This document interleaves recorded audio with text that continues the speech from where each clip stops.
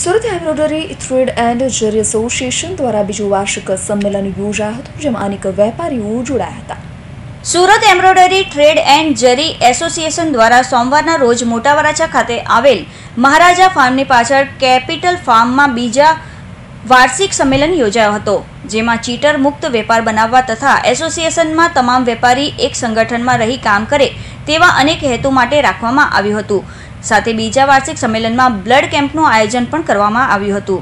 Surat embroidery thread and zari association ઉપપ્રમુખ દીપક કુકડિયા દ્વિતીય વાર્ષિક સંમેલન. આજનો અમારો જે કાર્યક્રમ છે, ચીટર મુક્ત વ્યાપાર બનાવવા માટે, જે આજે આપ સૌ મીડિયા મિત્રો સબના માધ્યમથી અમે બતાવવા માંગીએ છીએ કે આજે જે વેપાર કરવામાં જે ચીટર તત્વો આવી ગયા છે, એને વેપારમાંથી કેમ દૂર કરી શકીએ? એ માટે સ્નેહ મિલન અમારો દ્વિતીય વાર્ષિક સંમેલન હતો. એમાં અમે ચીટર મુક્ત વ્યાપાર કર- કરવામાં જે સફળ થઈએ, એ રીતના અમારા પ્રયત્નો છે.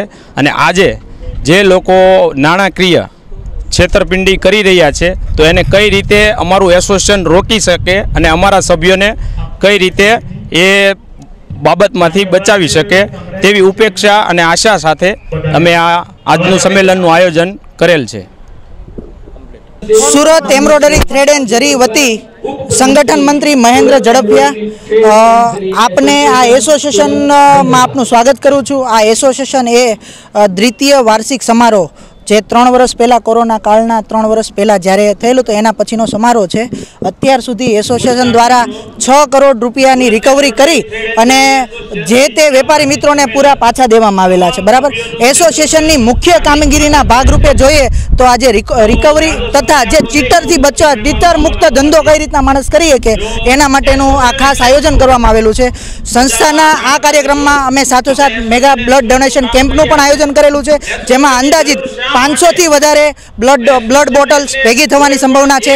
આ સાથોસાથ સંસ્થા દ્વારા સેવાકીય કાર્યના રૂપે જે તક્ષશિલા કાંડ થયેલો હતો, એ સમય દરમિયાન એ ભોગ બનેલા વ્યક્તિ જતીન નાગરાણીને અંદાજિત બે લાખ રૂપિયાથી પણ વધુ રકમ સેવાની દ્રષ્ટિએ સંસ્થા આપશે અને એ કાર્ય એસોસિએશન કરે છે. ફક્ત ન કેવળ ધંધો કરીને, સમાજમાં પણ ઉપયોગી થઈએ કે એવું કામકાજ સંસ્થા દ્વારા કરવામાં આવે છે? આઠ કરોડ આઠ કરોડ રૂપિયા સંસ્થાના અત્યાર સુધીનો રેશિયો ગણીએ તો જેટલી અરજી આવી એના એંસી ટકા રકમ કા સમાધાન દ્વારા કા કોર્ટ કેસ દ્વારા સંસ્થાએ વકીલ જેને રોકેલા છે, વકીલ દ્વારા એ પૈસા પાછા લીધેલા છે. સુરત એમ્બ્રોઇડરી થ્રેડ એન્ડ જરી એસોસિએશનના બીજા વાર્ષિક સંમેલનમાં મોટી સંખ્યામાં વેપારીઓ જોડાયા હતા.